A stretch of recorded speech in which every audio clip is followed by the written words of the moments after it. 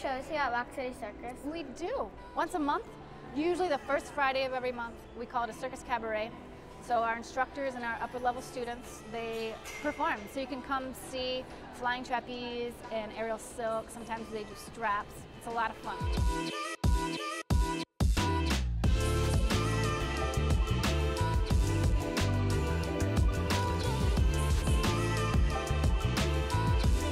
Today we are chatting with Mandy, the owner of Roc City Circus.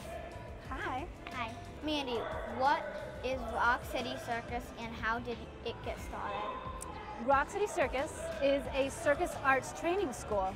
You can do flying trapeze, you can do aerial silk, aerial hoop, static trapeze, you can even do bungee fitness. And we have shows once a month. And it started because I wanted to bring flying trapeze, which is that thing behind us, to Rochester. What is your favorite circus act to teach? My specialty and favorite thing is aerial silks. And then my second favorite is flying trapeze. How young and old do you have to be to come here in learn? Well, we do birthday parties for ages four and up. So you can come as a four year old and have your party here. And we can do all sorts of fun things. We have a big giant parachute we can play with. And then if your parents are here and the safety belt fits, you can actually fly on the trapeze. Um, and then our classes that occur every week, we ask that you're either six or seven years old. And you know, we even have some older people that come here. I have a lady who's 62 years old, and she flies on that trapeze like three and four times a week. Somebody gave her the name of, I think it was like the circus grandma, and that's what she tags herself. She's on Instagram.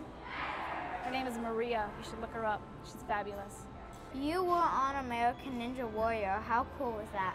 it was a lot of fun. It was very cool. I loved it. I competed um, in 2019. I went to Baltimore and got to run the obstacle course. Made it to the third obstacle and fell in the water. Oh, But it was a lot of fun. what advice would you give someone who wants to join a class at Roc City Circus?